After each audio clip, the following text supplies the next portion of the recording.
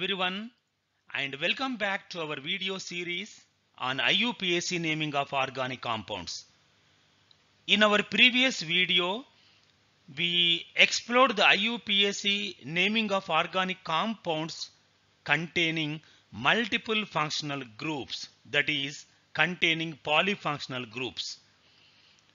In today's video, we will be exploring the IUPAC naming of alicyclic organic compounds.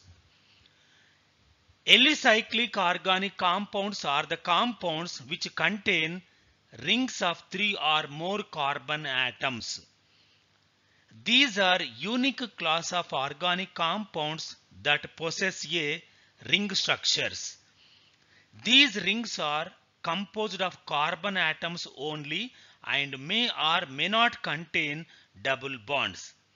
So, without further delay, let us get to the heart of the matter that is IUPAC naming of alicyclic organic compounds. Before going to explore the IUPAC naming of alicyclic compounds, let us recap the IUPAC naming structure of organic compounds once again here. The IUPAC name of an organic compound consists of three parts root word, prefix and suffix. So let us uh, study in detail about these parts. The first part is root word. So what is root word? The root word also known as the base name is the main part of the compound's name and provides information about the number of carbon atoms present in the parent chain. Next, prefix. A prefix is a term or group of letters added to the beginning of the compound's name to indicate the presence of substituents or other structural features. Next suffix. A suffix is a term or group of letters added to the end of the compound's name to indicate the presence of a functional group or other specific structural features. Prefix again has two parts you can see here primary prefix and secondary prefix. Root word. The root word is derived, the name of the root word is derived depending upon the number of carbon atoms present in the continuous longest carbon chain. Suffix also has two parts, primary suffix and secondary suffix. These parts again have several parts. So in total, there are 11 parts in the IUPAC naming structure. Okay. And uh, secondary prefix has three parts you can see here.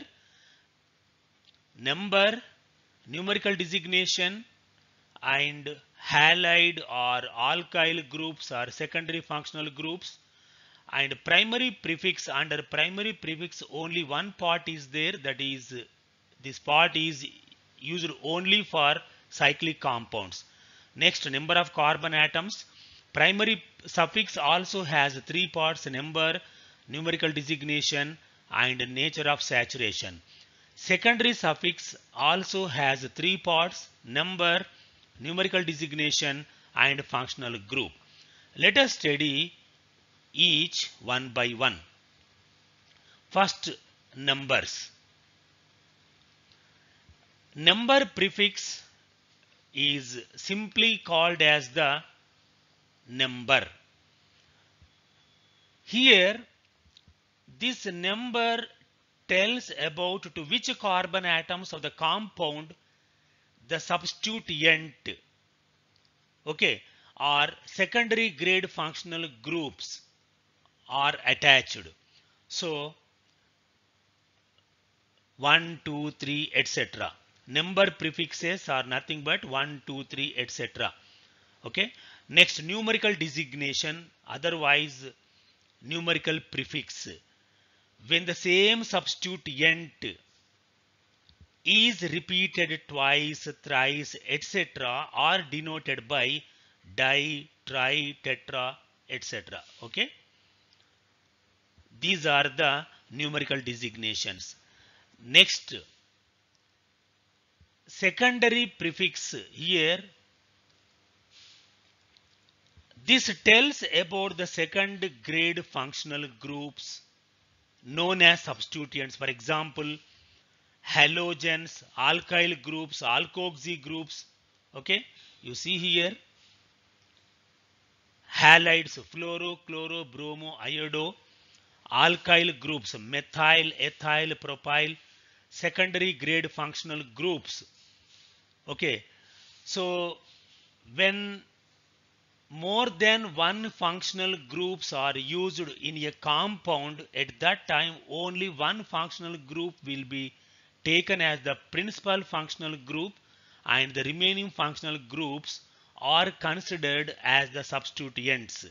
So we discussed these things in our previous video about IUPAC naming of polyfunctional compounds. Next, there is only one primary prefix and it is used only for cyclic compound compounds and the name of the primary prefix is cyclo. Okay? So for the compounds having ring structures then only this primary prefix will be used. Next the root word is derived depending upon the number of the carbon atoms present in the continuous longest carbon chain known as parent chain. If the parent chain contains only one carbon atom, the root word is meth. If it contains two carbon atoms, the root word is eth. Three carbon atoms, prop, but, pent, hex, etc. like this. Okay. Next, let us go for the suffix suffix has two parts primary suffix and secondary suffix. Primary suffix again has three parts. Number numerical designation nature of saturation. So here number represents otherwise denotes to which carbon atoms of the compound multiple bonds are attached to okay? So numbers are 1 2 3 etc okay? Next numerical designation or numerical prefix. When multiple bond is repeated twice or thrice etc are denoted by the numerical designations di tri tetra. Okay? Next nature of saturation you can see here if the parent chain contains only carbon-carbon single bonds, the primary suffix is "ane". If it contains at least one double bond, then the primary suffix is "ene", and "ene". If it contains at least one triple bond, then the primary suffix is "ine". Okay. Next, Secondary suffix also has three parts again number, numerical designation and functional group. See here, here number denotes to which carbon atoms in the parent chain the functional group is attached to. So number prefixes are nothing but 1, 2, 3 etc. and uh, numerical designations are di, tri, tetra. That is, if functional group is repeated twice, thrice, etc., the numerical designations we have to use are di, tri, tetra, etc. Okay. Next, functional groups. So, these are the functional groups here if only carbon and hydrogen atoms are present in the compound, then the functional group is E. If OH functional group is there, the name of the functional group is OL. Okay. So, depending upon the nature of the functional group, we get the class of the organic compounds. Okay. So this is all about the IUPAC naming structure. Okay. What are alicyclic compounds? See here. Alicyclic compounds are the compounds which contain rings of three or more carbon atoms. So here are the IUPAC naming rules for alicyclic compounds. These are named by the adding the prefix cyclo to the name of alkane or alkene or alkyne having the same number of carbon atoms as in the rings. If the prefix cyclo, that is the primary prefix cyclo is added to alkanes, we get cycloalkanes. Like uh, if uh, primary prefix cyclo is added to alkenes, we get cycloalkenes. Similarly, cycloalkynes. Okay. So, let us see here some examples of naming alicyclic compounds. See here, this is an alicyclic compound having three carbon atoms in the ring structure. Okay, so the root word, the number of carbon atoms present in the ring are 3. So the root word is prop. Primary suffix. In this ring only carbon-carbon single bonds are there. So the primary suffix is ane. And uh, there is no functional group attached to any carbon atom in the ring. So this, there is no secondary suffix here. And here primary prefix is cyclo. Okay? So the name of this alicyclic compound is cyclopropane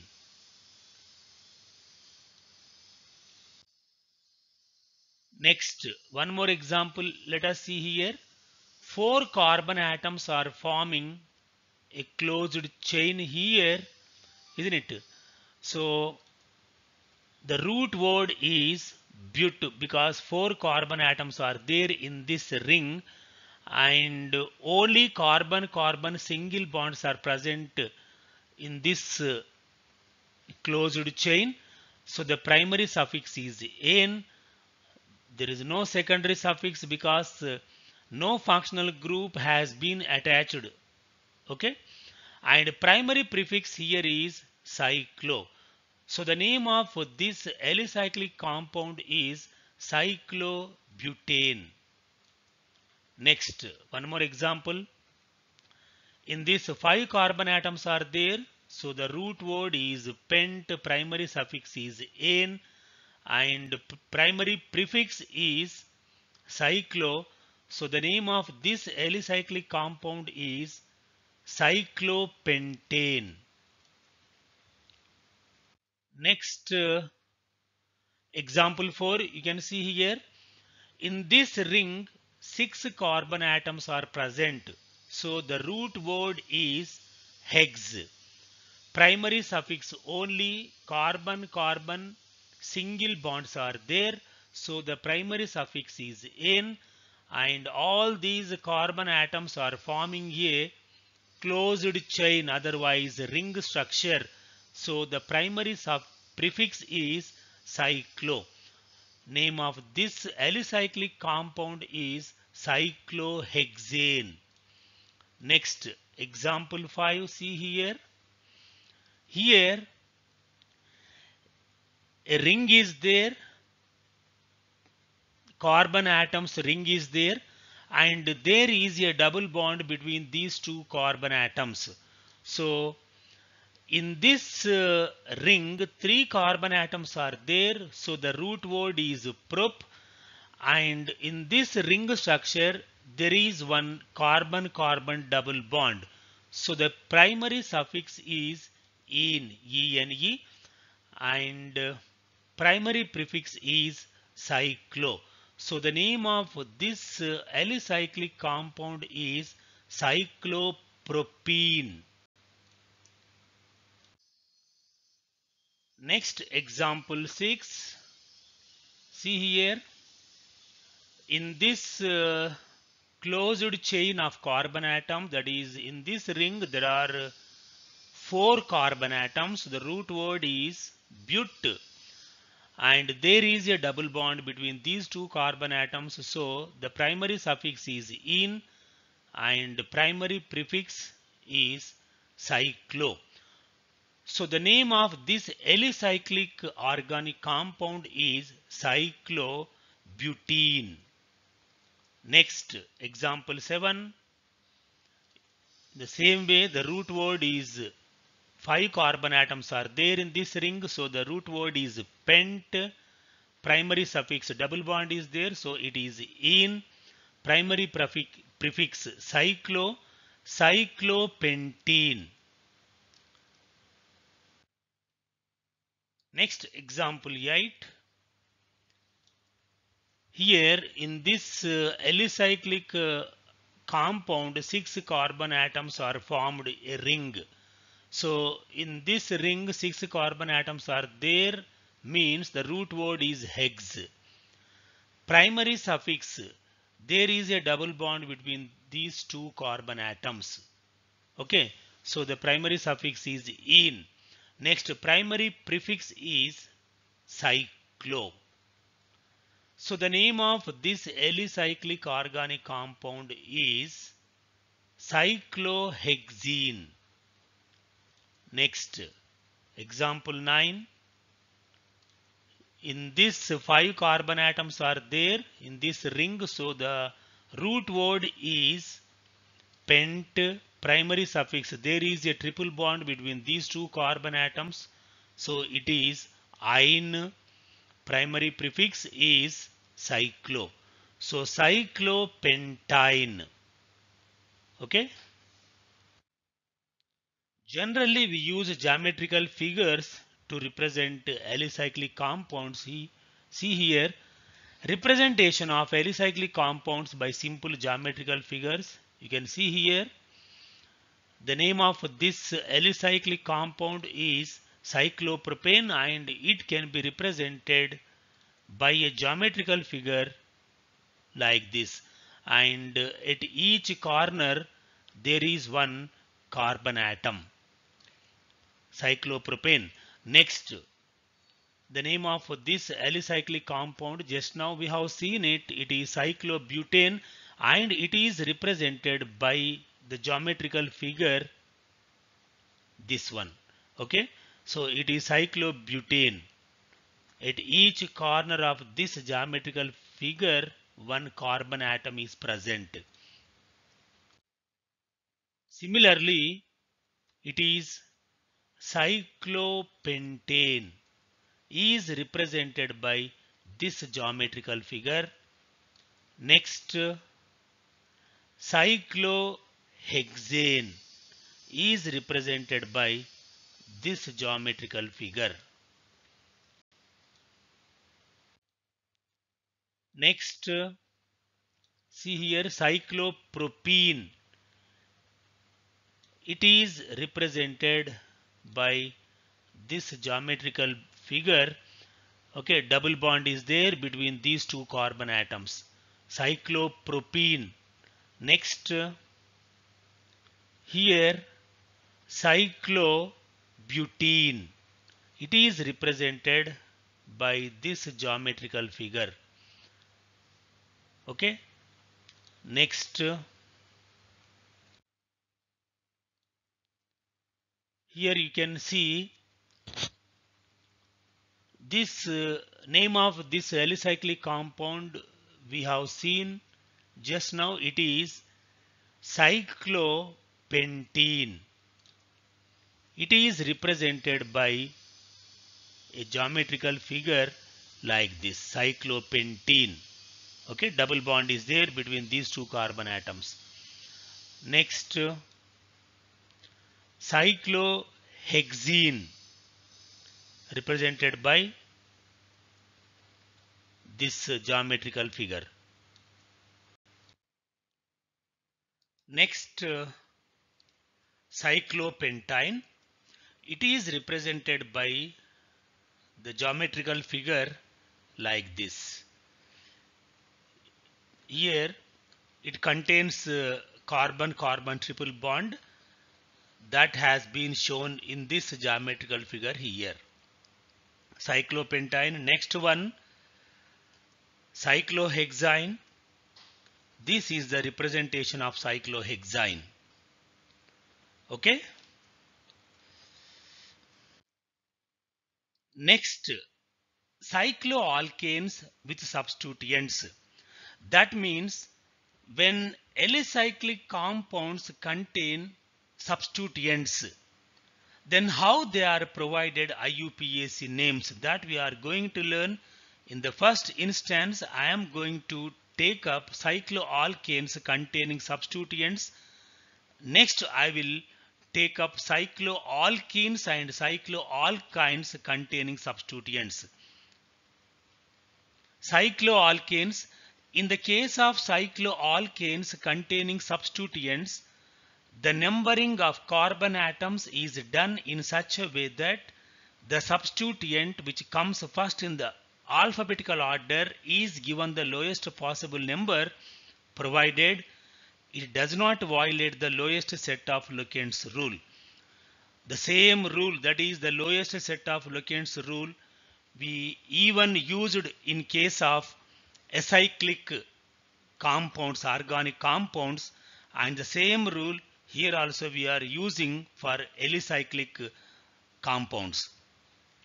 So when cycloalkanes contain substituents, at that time we have to number the carbon ring in such a way that the substituent which comes first in the alphabetical order is to be given the lowest possible number provided it should not violate the lowest set of locants rule.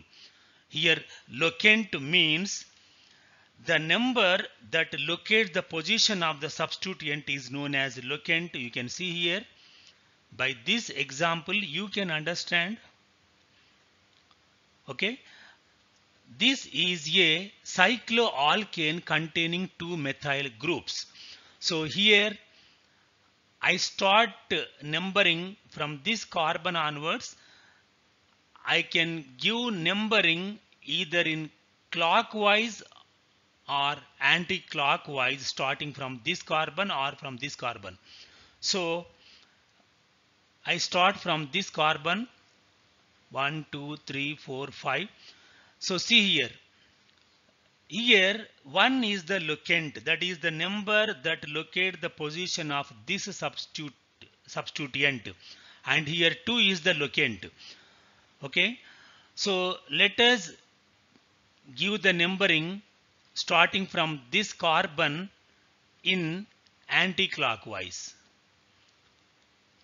So which way of numbering is correct? In order to know that I am going to use the lowest set of locants rule. You see here. Set 1 locants clockwise. You see here. When clockwise numbering is taken locants are 1 comma 2 in case of set 2 anti-clockwise the locants are 1 comma see here 1 comma 5 okay? So numbering also has been shown in different colors. Clockwise and anti-clockwise numberings are given different colors. So we have to compare these two sets term by term the first terms are same.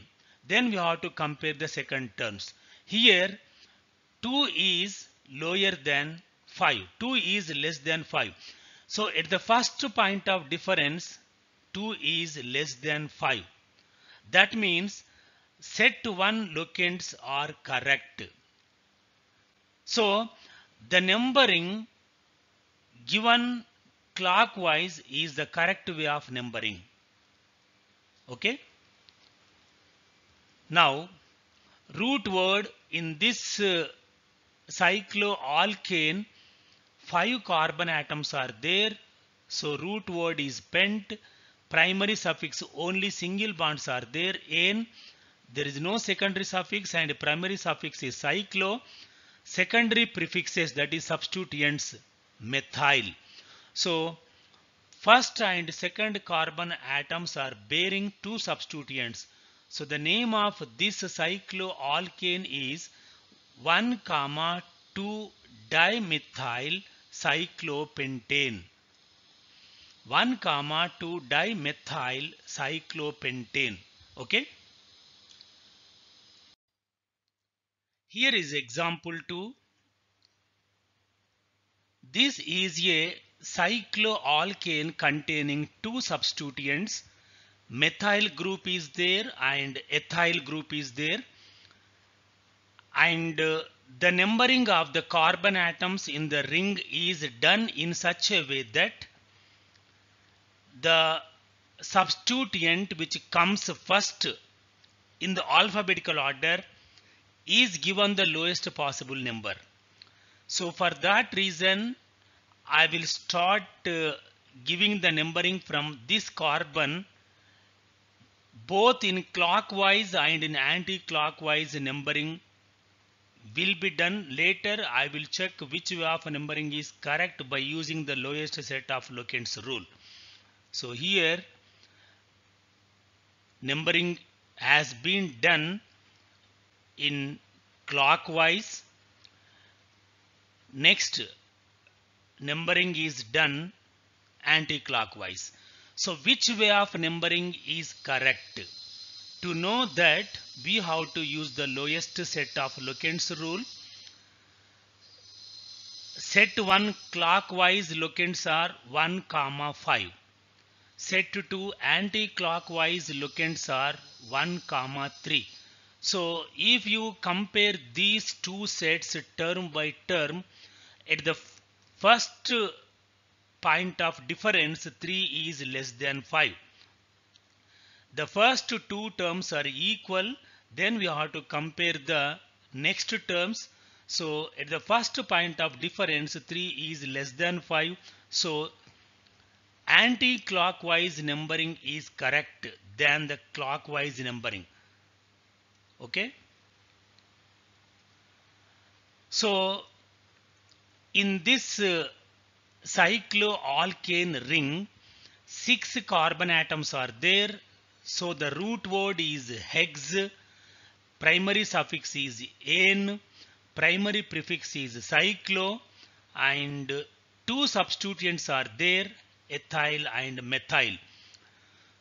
So the name of this uh, cycloalkane is 1-ethyl 3-methyl cyclohexane. 1-ethyl 3-methyl cyclohexane. Next example 3. This is a cycloalkane containing three substituents, two methyl groups and one ethyl group. In these three groups, ethyl comes first in the alphabetical order. So the carbon atom attached to this ethyl group should be given the lowest possible number. So let us give the numbering starting from the carbon atom attached to ethyl group isn't it so here I start from this carbon onwards first I will give clockwise numbering then anti-clockwise numbering. Next anti-clockwise numbering. Okay and uh, another way of numbering I will start from this methyl methyl group attached to this carbon. So here the, num the numbering has been done in three ways. The which way of numbering is correct in order to know that I will use the lowest uh, set of locants rule. Set 1 clockwise shown in yellow color. 1, 3, 6. The locants are 1, that is first carbon atom is attached ethyl group. Next 3, third carbon atom is attached methyl group. And the sixth carbon atom is attached another methyl group. So these are the locants. Next, set 2 shown in green color set to anti-clockwise numbering. The locants are 1 comma 2 comma 5. Next set to 3 shown in different color here pink color you can see. The locants are 1 comma 2 comma 4. If you compare these three sets term by term in all the three sets first terms are same okay and uh, if you compare the second terms here these two are equal and it is different that is uh, these two are less than 3 so we can neglect otherwise ignore set 1 at the first point of difference we can neglect this and we have to take these two sets into consideration. Now I am comparing these two terms. So 4 is less than 5 at the first point of difference. That means set 3 that is clockwise here shown in pink color numbering is correct starting from this methyl group. Okay.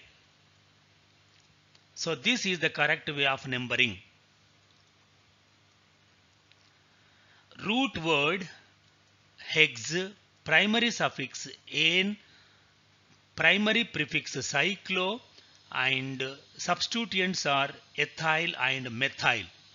Okay, so 2 ethyl 1 comma 4 dimethyl cyclohexane 2-ethyl 1 comma 4 dimethyl cyclohexane. This is the IUPAC name of this cycloalkane containing substituents. Next example 4. See here. So first we have to number the carbon atoms in the ring. So I start from ethyl 1, 2, 3, 4, 5. Numbering is done in clockwise starting from ethyl group. Next here 1, 2, 3, 4, 5, 6. So which way of numbering is correct? Let us check by using the lowest set of locants rule. Set 1 clockwise shown in yellow color 1 comma 3 comma 3 that is third carbon atom is attached to methyl groups. Next set 2 shown in green color 1 comma 1 and 3. If you compare these two sets of locants term by term at the first point of difference 1 is less than 3 the first terms are equal then go for the comparing second terms 1 is less than 3 so at the first point of difference 1 is less than 3 that is numbering given in green color is the correct way of numbering. Okay. So root word is hex primary suffix "-ane", primary prefix cyclo and uh, two substituents are there ethyl and methyl groups. So 3 ethyl 1 comma 1 dimethyl cyclohexane. We have to write the substituents according to alphabetical order only. So for that reason ethyl comes first. Hence I am writing ethyl group at first. So 3 ethyl 1 comma 1 dimethyl cyclohexane okay next cycloalkenes and cycloalkynes with substituents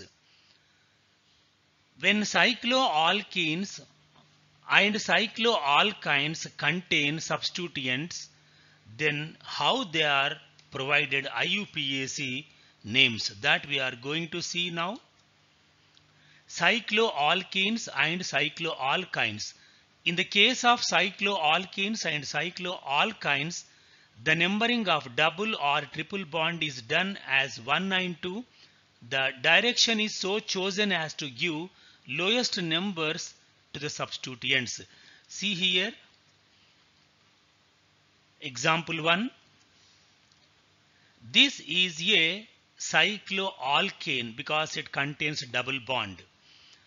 And uh, while numbering the carbon atoms in the ring, we have to give the numbers 1 and 2 to the carbon atoms attached to the double bond. Okay. So here numbering can be done from here clockwise or from here anti-clockwise and which way of numbering is correct later we have to check by using the lowest set of locants rule. So first I am numbering the carbon atoms in the ring starting from here because the carbon atoms attached to the double bond must be given 192 serially. So 1, 2, 3, 4, 5, 6. Next, numbering can be given from here onwards also. Okay. So 1, 2, 3, 4, 5, 6. So which way of numbering is correct? We have to use the lowest set of locants rule. Let us check here. Set 1 clockwise shown in yellow color 6. Okay. So the locant is 6 when numbering is done clockwise. Set to anti-clockwise the locant is 3 that is third carbon atom is attached to methyl group. So if you compare these two locants 3 is less than 6 isn't it? We have to give the numbers to the carbon atoms in such a way that lowest numbers are to be assigned to the carbon atoms bearing substituents. So here 3 is less than 6. So this way of numbering is correct. Anti-clockwise uh, way of numbering is correct. Okay. So root word is hex primary suffix because uh, this ring contains one double bond so it is ene next primary prefix cyclo secondary prefix that is substituent is methyl so third carbon atom is bearing methyl group 3 methyl 3 methyl cyclohexene. 3 methyl cyclohexene. Here is another example. This is a cycloalkyne because it contains triple bond. First we have to give the numbers to the carbon atoms in the ring. I already told you the carbon atoms bearing double or triple bond must be assigned 1 and 2. Okay, so numbering can be done starting from here 1 2 3 4 r for r starting from here from this carbon 1 2 3 4 see here here 1 2 3 4 numbering has been done in clockwise next anti-clockwise starting from this carbon onwards so which way of numbering is correct to know that we have to use the lowest set of locants rule. Set one clockwise locant. If numbering is done clockwise, the locant is 3. That is the third carbon atom is bearing the substituent methyl group. Okay? Next if the numbering is done anti-clockwise starting from this carbon the locant is 4 so if you compare these two terms that is locants 3 is less than 4 that means the clockwise numbering is the right way of correct way of numbering. Okay? Root word is but because four carbon atoms are there primary suffix because uh, triple bond is there. One triple bond is there so it is ine primary prefix cyclo secondary prefix methyl. So 3 methyl cyclobutyne. 3 methyl cyclobutyne. Next example 3. This is a cycloalkene containing one substituent. Ethyl substituent is there here and double bond is there so it is cycloalkene. And we have to give the numbering to the ring. Starting from here in anti-clockwise or starting from here in clockwise. Because the carbon atoms attached to the double bond must be assigned 1 and 2 numbers only. So here I am giving the numbers in anti-clockwise and here clockwise numbering. Which way of numbering is correct? Let us uh, check by using the lowest set of locants rule. Set one clockwise. If we consider clockwise uh, numbering the locant is 3 that is third carbon atom is bearing this uh, substituent. Set to anti-clockwise if we take anti-clockwise numbering into account then fifth carbon atom is bearing the substituent so if you compare these two terms, 3 is less than 5. So clockwise numbering is the correct way of numbering and the anti-clockwise numbering is the wrong way of numbering. Okay.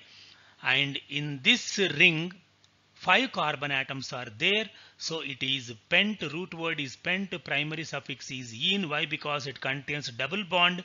Primary prefix is cyclo and there is only one substituent that is ethyl. So third carbon atom is bearing ethyl group. So 3 ethyl cyclopentene. 3 ethyl cyclopentene. Okay. So that's all for this video. In the next coming video, you will be explored in alicyclic compounds containing functional groups. Thank you.